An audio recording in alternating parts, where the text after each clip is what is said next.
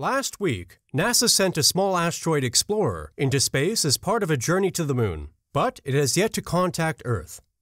NASA's Artemis 1 mission, which was launched on November 16th, carries 10 CubeSats, one of which was named Near Earth Asteroid, or NEA Scout. The spacecraft is intended to use solar power to propel itself when it flies by the minor asteroid 2020 GE in the next year or so. Something appears to have gone wrong after the CubeSat was launched.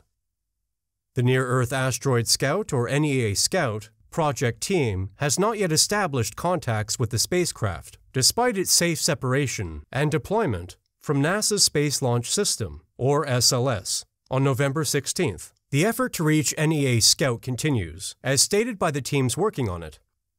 The crew of the NEA Scout is keeping their fingers crossed that the spacecraft's unconventional propulsion method will aid them in locating the CubeSat. NASA claims that the 924 square foot solar sail, which was packed inside the tiny spacecraft, is bigger than a racquetball court. According to a NASA official, the NEA Scout was supposed to release its sail in early December and utilize the solar energy, striking it to go to the asteroid. Instead, NASA employees broadcasted a directive for an emergency solar sail deployment twice on Monday, November 21st, despite not receiving any communications from the spacecraft, in the hopes that the highly visible sail would lead them to the CubeSat.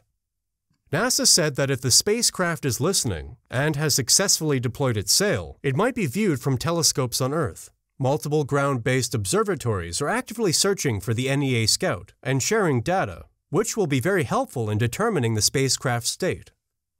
A number of the CubeSats launched with Artemis 1 last week have been having trouble, not only the NEA Scout.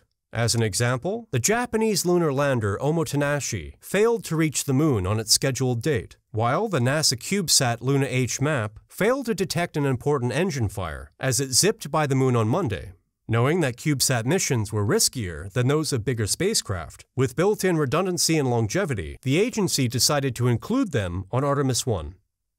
Some of the other CubeSats that went into orbit last week are performing better than expected. It has been reported that the second Japanese mission, EQUULEUS, has successfully completed its first lunar flyby, while an Italian CubeSat ArgoMoon is safely beaming home spectacular images of the Moon and Earth.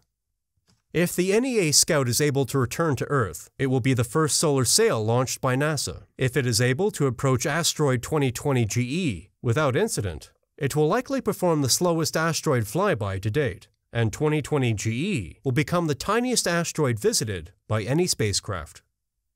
Let us know what you think in the comments section below. And as always, don't forget to like, subscribe, check out our previous videos, and visit our website if you love reading at www.nasaspacenews.com. Thanks for watching.